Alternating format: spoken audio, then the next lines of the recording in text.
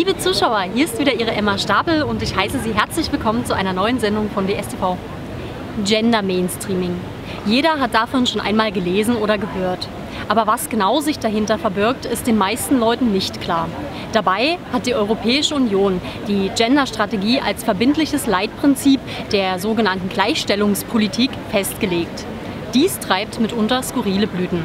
Und genau das haben wir uns einmal in Berlin angesehen und berichten zudem, aus welchen trüben Quellen sich die alles andere als harmlose Gender-Ideologie speist.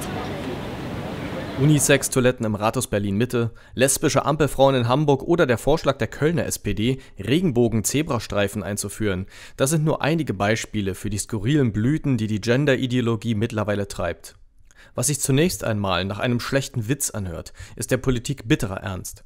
Denn Gender Mainstreaming wurde in Artikel 2 des Amsterdamer Vertrages als für alle EU-Staaten verpflichtendes Leitprinzip festgeschrieben, das bis hinunter zu den Kommunen durchgesetzt werden soll.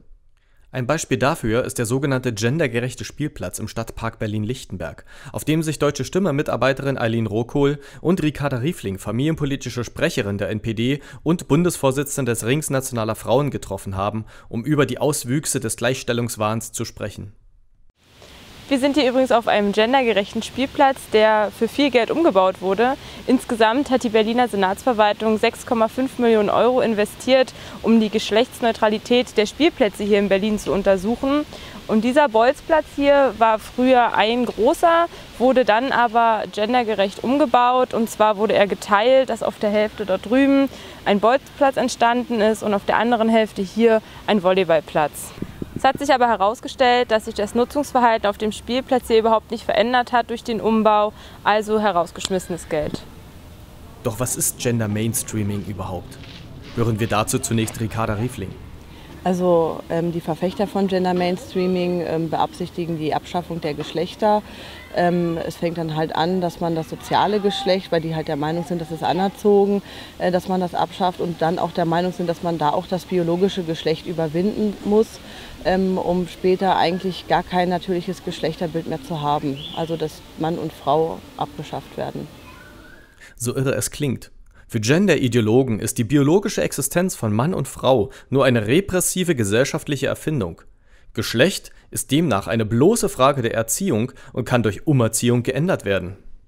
Die Soziologin und Genderkritikerin Gabriele Kubi sieht darin ein gesellschaftspolitisches Programm, das in neomarxistischer Manier der Schaffung eines neuen Menschen dienen soll, was beispielsweise in der vielsagenden Floskel der Optimierung der Humanressourcen, also der Erhöhung der Frauenerwerbsquote zum Ausdruck kommt.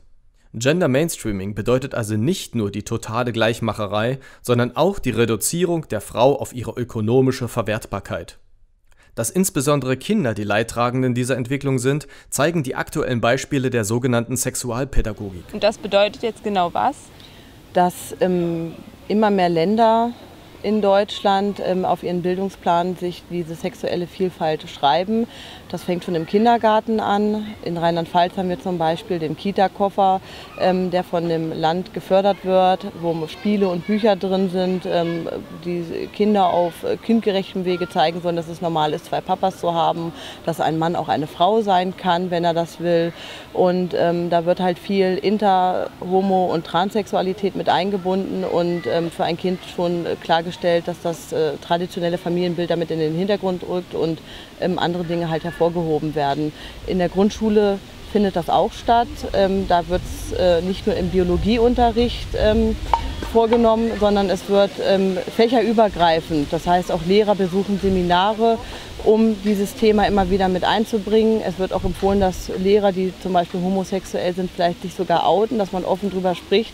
Und das Schlimme ist halt, es ist nicht so, wie es ähm, jahrzehntelang praktiziert wurde, äh, fünfte, sechste Klasse, sondern es geht jetzt darum, äh, dass es schon wirklich in der zweiten, dritten Klasse anfängt und auch Kindern halt damit äh, beibringen will, Schwulsein ist normal. Tatsächlich nimmt der staatlich geförderte Genderwahn bei der Frühsexualisierung von Kindern seine erschreckendsten Formen an. Einen Einblick in diese perverse Welt bietet das Machwerk Sexualpädagogik der Vielfalt der Kasseler Soziologin Elisabeth Huider und anderer Autoren. Die Schrift, die sich an Pädagogen und Jugendarbeiter richtet, empfiehlt unter anderem mit Viertklässlern über diverse sexuelle Praktiken zu sprechen oder eine Übung, in der zehn Jahre alte Schüler dazu aufgefordert werden, ihre Lieblingsstellung mitzuteilen, während sie sich zu dynamischer Musik schwungvoll durch den Raum bewegen. Erklärtermaßen wollen Tweeder und ihre Mitautoren Verwirrung und Veruneindeutigung stiften. Für Ricarda Riefling ist Gender Mainstreaming eine ideologische Kopfgeburt.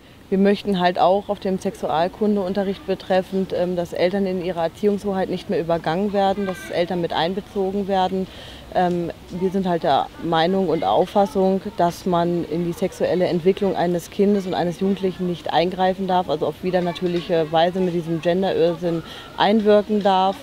Und ähm, wir fordern vor allen Dingen, dass das traditionelle Familienbild in den Vordergrund gestellt wird und dass es geschützt wird und auf keinen Fall mit anderen Irrsinn gleichgestellt werden darf. Also ich bin mir über meine geschlechtliche Identität im Klaren. Und ich denke, Ihnen geht es genauso, oder? Wenn Sie möchten, dass wir Sie auch weiterhin über die Themen informieren, die die anderen gerne unter den Tisch fallen lassen, unterstützen Sie uns mit einem Abo der Druckausgabe der Deutschen Stimme oder einer Spende an die am Ende eingeblendete Bankverbindung. Ich wünsche Ihnen alles Gute, Ihre Emma Stapel.